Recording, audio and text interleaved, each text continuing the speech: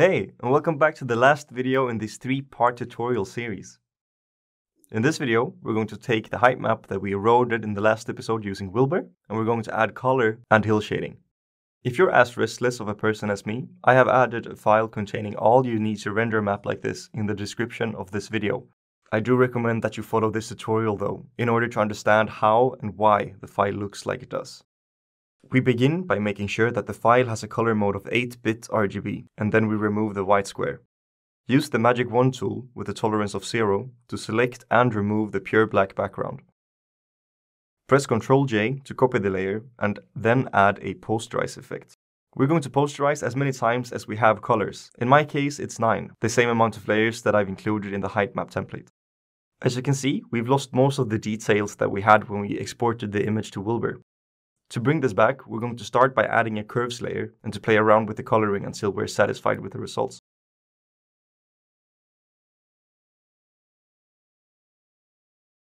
For more control, we could even add a levels layer. To remove some of the grainy detail in the height map, we can add a Gaussian blur filter to the height map. In this case, I used a blur of 0.3 pixels. We can then group all of these layers together and move the mask to the group layer. Duplicate the bottom height map layer and move it to the top. We're going to add a blur, in this case 0.6 pixels, and we're going to apply the layer mask. We're then going to invert the layer by pressing Ctrl I, then go to Filter, Styles, and Emboss. Here, you can play around with the height and amount to better suit your liking. In this tutorial, we're going to be doing this twice to have greater control over the amount of details. We're going to copy the height map once again, we're going to blur it and apply the layers mask. We're then going to add a levels effect and crunch the colors. We're then going to merge the layers effect with the layer.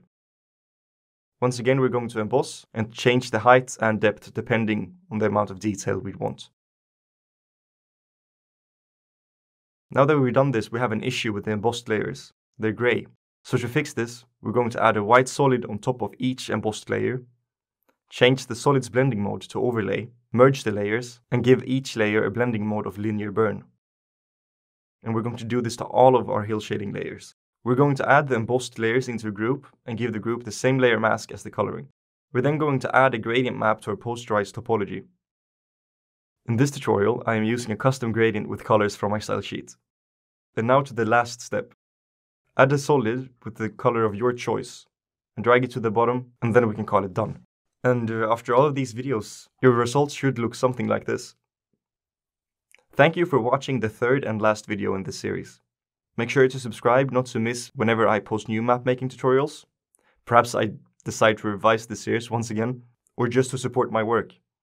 And I'll say it once again, the higher the numbers, the better I feel about having put my time and energy into making these videos.